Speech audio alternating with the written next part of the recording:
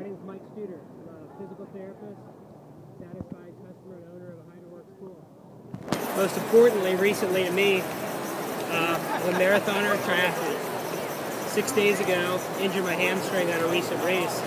Injured it pretty severely, mile seven and a half out of a 15k run. And uh, that was on a Sunday. Monday, I really couldn't walk without pain. I was living pretty good, but tolerate pain enough to be able to walk through it. And Monday I went straight to our pool, HydroWorx uh, underwater treadmill, and I was able to run on Monday five miles an hour with my hands on the bars.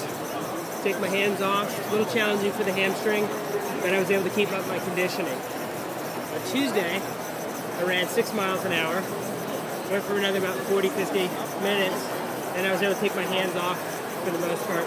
Still couldn't run outside, way too painful to run on our treadmill on land base.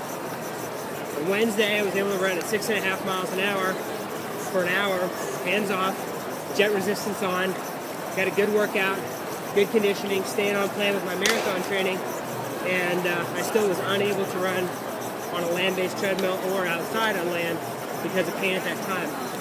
Totally pain-free Tuesday and Wednesday running with some pretty good intensity climbing.